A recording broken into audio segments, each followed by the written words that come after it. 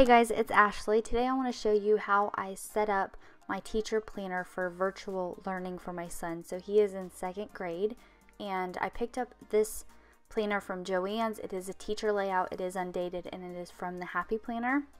I don't think that these are still available. I will try to find a link. If so, it will be in the description box. But what I do is I actually have a rolling cart that is set up for his virtual learning and inside of that cart I have this little bucket, this little bin thing that actually come from Ikea and I keep all of my teacher and student stickers inside of there and um, like the Brights one and, and little things like that that I can use inside of this planner and so I keep all of that together so it's easy for me to access. I'm not constantly having to drag out sticker books and dig through different sticker books to find what I'm looking for.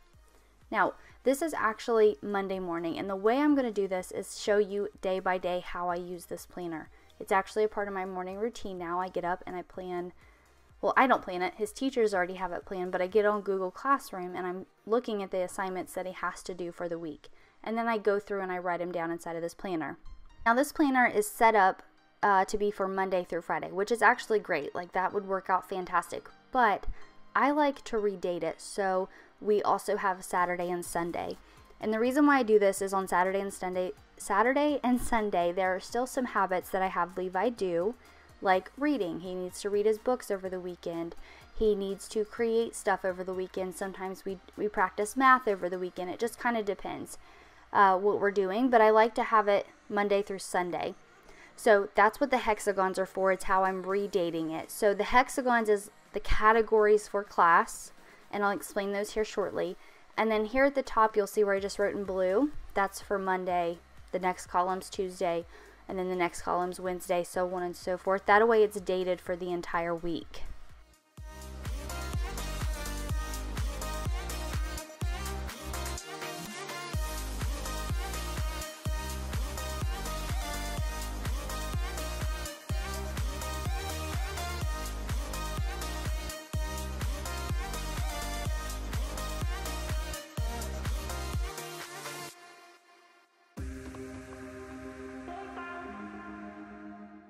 For the categories for the hexagons, the first one is a general to-do list, and this is typically for me. This is things that I need to get done. This could be his Google Meets that we have, uh, different things like that. The second one is for uh, reading, spelling, and language arts. The third one is for his math class. The fourth one is for science and social studies. And then the bottom one, I made this one for routines. These are things that we do on a daily basis, and that way I can make sure that I'm checking them off. Now here I'm just going to take a sticky note and put it down for Tuesday and one down for Friday. We have a Google Meet on Tuesday and then Friday has some quizzes. Like I said, I get into this planner every morning as a part of my morning routine. So I'm not actually putting the stickers down for the days just yet. I mean, I will here in just a minute because it is Monday morning when I'm setting this up, which is unusual. Normally I get this thing ready on the weekend, but I didn't this time. I got it ready Monday morning. So I will add those stickers for those categories or for those uh, tasks on Tuesday morning and then on Friday morning. Here I'm taking a Mildliner and I'm creating check boxes for the tasks that we have to do every single day. This would be like his AR tests, uh, reading, his spelling words. I always want him to create something every single day. We do so much work on the computer right now that I want him to actually do more physical things. So this could be painting, coloring, cutting out stuff, like making a mess basically. Just so he's creating, he's getting creative, and it's not constantly like typing and looking at a computer screen all day. It kind of changes it up for us.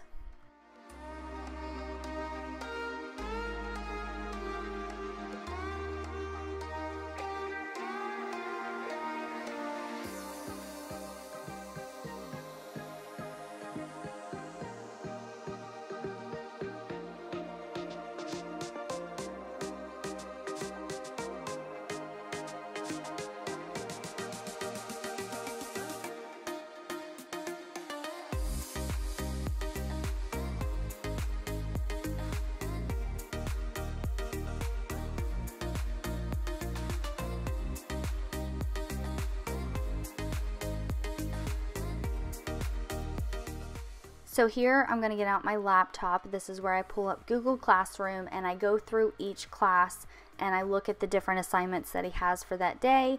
And this is when I also decorate and I'll add little fun stickers. Uh, for most weeks, I've been kind of doing this like color scheme where like with the blue hexagon, the stickers for that entire week are blue. With the purple hexagon, the stickers for that entire week are for the rest of the week are purple. And that's been kind of fun. It's just a way for me to to get creative and to have fun with it. So here I'm just getting everything wrote down that he needs to do for Monday for each class.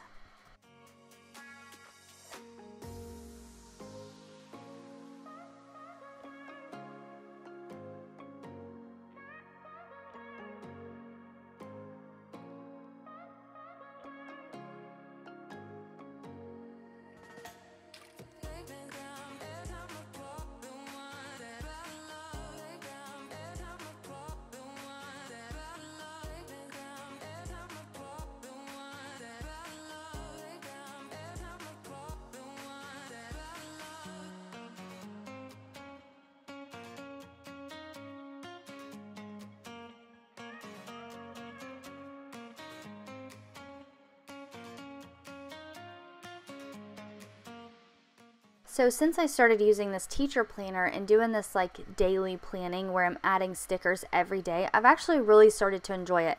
Actually, I've carried that over into my regular planner to where I'm actually getting to play with my stickers a little bit more and it's making me use stickers that I would have not normally used. So I'm really enjoying that. If you guys normally, like me, and you set up your spread for the entire week in advance, which there's nothing wrong with that. I've done that for years now. But if you've done that and you kind of want to change things up a little bit, make it to where like every morning you have like 10 or 15 minutes, or even at night to do it for the next day, where you have like 10 or 15 minutes to plan out your day, use different stickers, and I don't know, it's really fun. Like you get to, you get, it feels like you kind of get to be more creative, right? You just have to do it to kind of understand what the heck I'm talking about. But I really, really enjoyed this style planning, just doing it every day it lets me get a little bit more creative, use more stickers that I normally wouldn't use. And like I said, I get to I get to play in my stickers more. So that's a plus, right? We all want to play in our stickers more.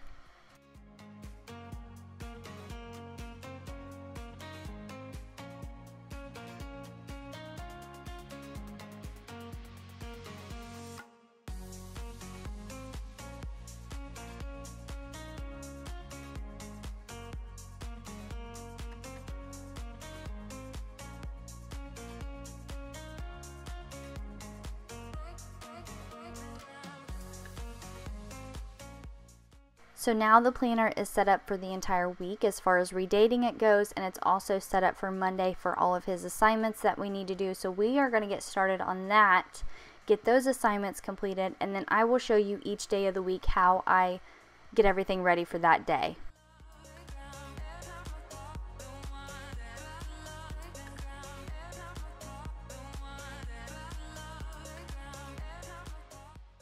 This is Tuesday morning and I'm going to get my laptop out, pull up Google Classroom, and I'm going to look at the assignments that his teachers have posted, and I'm just going to fill it in, adding the stickers, um, taking the sticky note off, and putting that reminder in that we have a Google Meet. Basically, like I said, getting this set up for the entire day for Tuesday.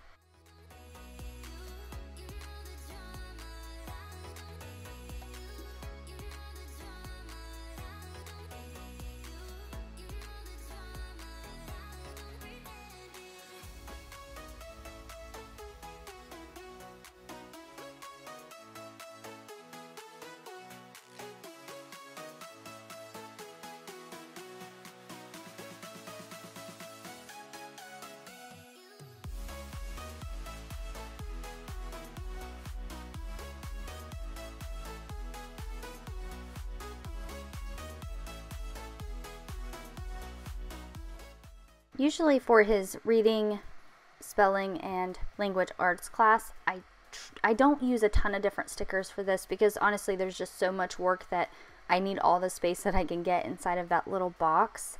And that's kind of like why I like doing this on a day-to-day -day basis because if I already have all these stickers placed and then I'm like, oh crap, I don't have enough room, then I have to move stickers around and stuff. So it's just kind of nice to do this as I go to see how many assignments he has if I can add a little bit more stickers or if I need to pull back and not add as many or any at all for that matter.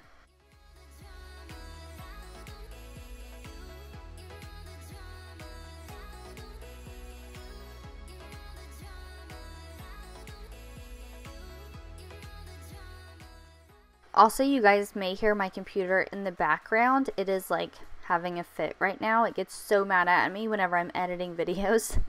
it goes into like high wind mode.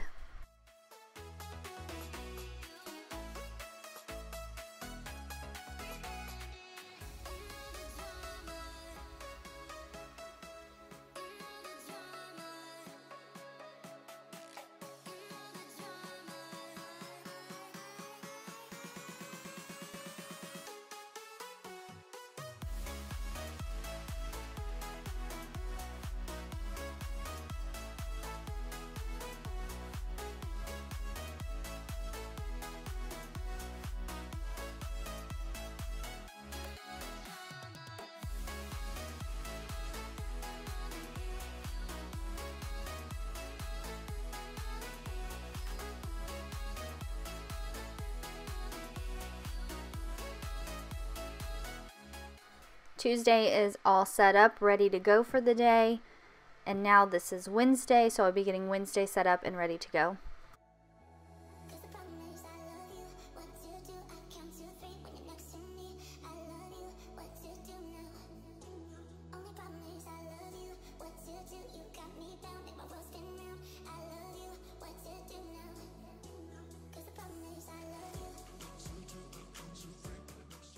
For this week, I'm mainly using one sticker book. It is the Bright sticker book, and this is also from the Happy Planner.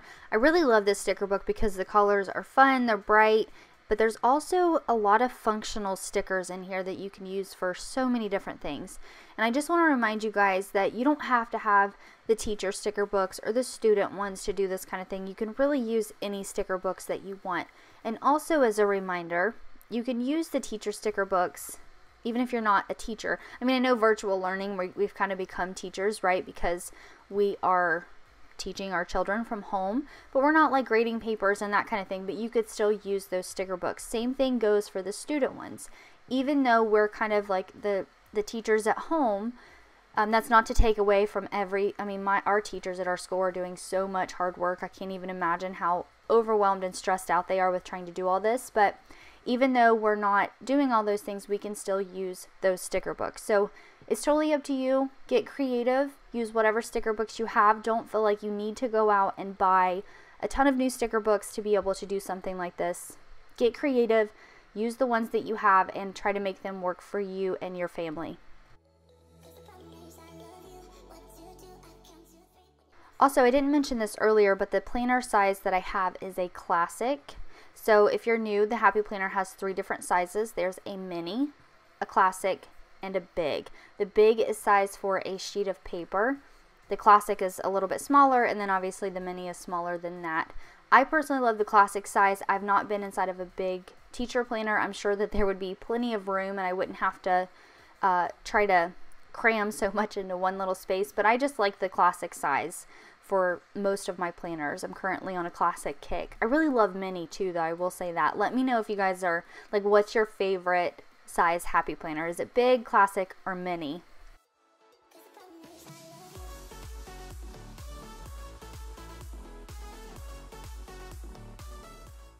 All right, now Wednesday is all set up and ready to go, so we are going to move on to Thursday. This is Thursday morning. I actually left my planner set out on the desk right there so I didn't have to reopen it or whatever, but it was all ready to go. This is Thursday and we are going to get everything basically the same thing over and over again, Monday through Friday. So we're going to get everything set up. This usually is where I start to decorate the weekend, add some fun little stickers to it. Uh, sometimes I don't do this till Friday. Sometimes I do this at the beginning of the week. It just kind of depends. If I see a sticker and I'm like, oh, I love that, that would be cute for the weekend, I go ahead and put it down then. I don't need all of the boxes on the weekend. I really just need that bottom one. Remember down at the bottom that I said is for routines. I really just need that one. That way I can make sure we are we are getting the things done on the weekend that we need to, like reading and creating and that kind of thing.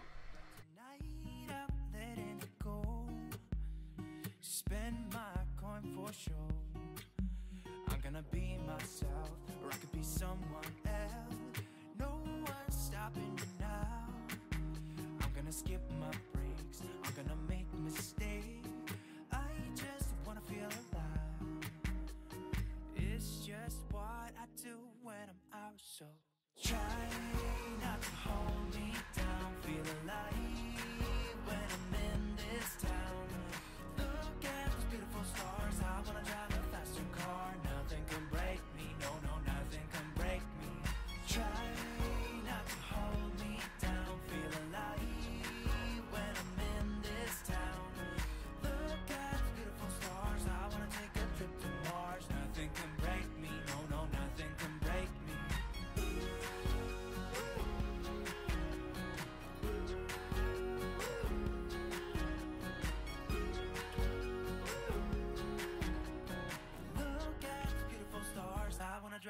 faster car. Lay my troubles to rest. Blow the smoke through my cigarette. City lights looking fine. And I know this is my time now. I'm gonna be myself, or I could be someone else. No one's stopping me now. I'm gonna skip my breaks. I'm gonna make mistakes. I just wanna feel alive.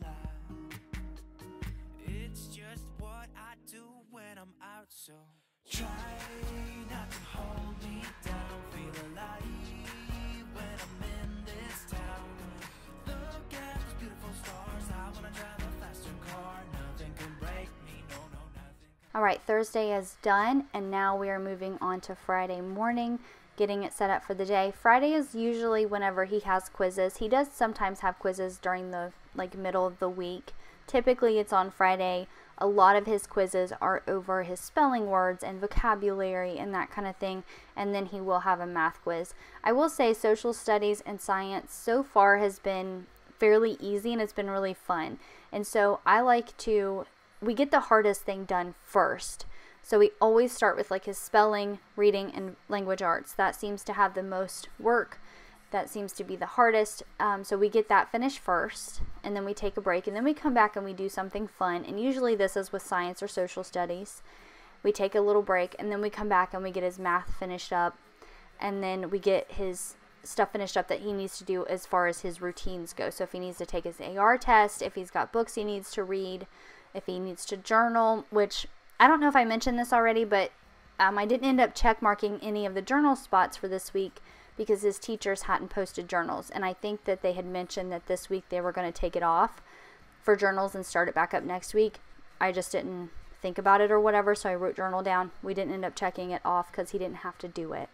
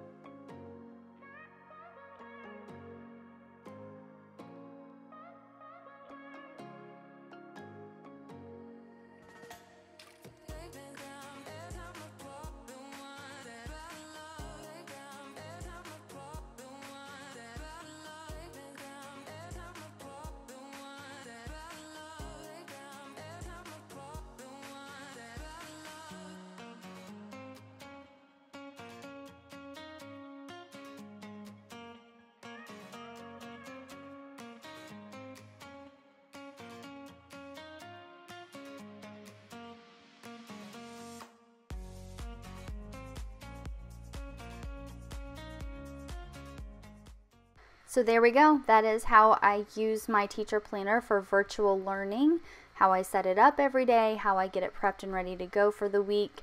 I'm honestly enjoying this aspect of it. This is probably the best part of the virtual learning, right? Is getting to play in my planner. So I'm really loving it. Thank you guys so much for watching. If you haven't already, make sure you subscribe. Come hang out with me on Instagram, and I will see you in the next video.